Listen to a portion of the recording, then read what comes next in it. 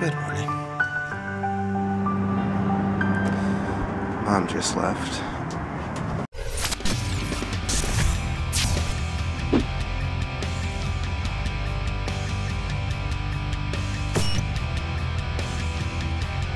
Mia, would you like to say a few words about this weather? This is fantastic. This is this unbelievable? Perfect weather. I just cannot describe this. It's so pleasant. Oh, I cannot get enough of this.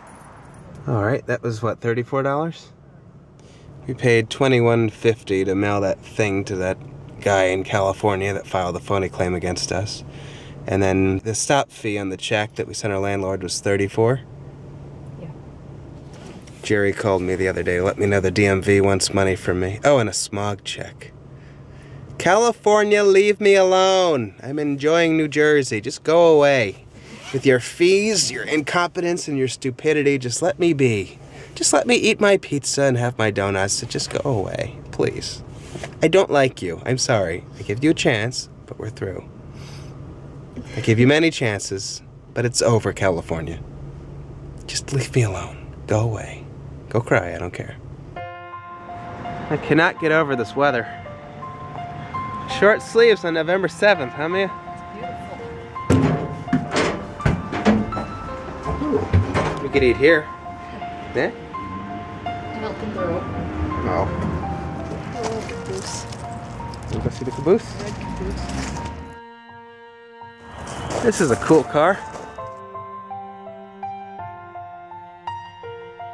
All aboard. All aboard! We're actually on our way to go eat, but it's just such a nice day.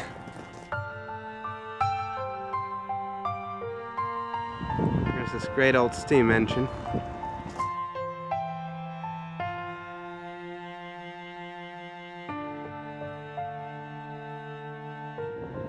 Love the yellow car.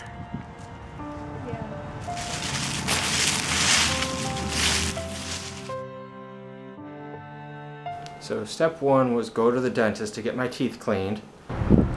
It's time for dentist. And step two was go to the doctor to get the blood test. But the dentist wanted to do super deep clean, which would require numbing my mouth. So I didn't do that. I'm going to have to go back for that.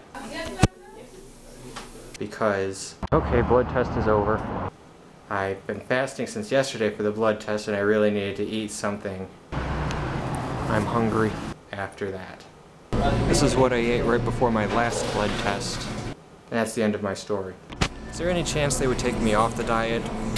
Or is it just stay on the diet or do something more severe?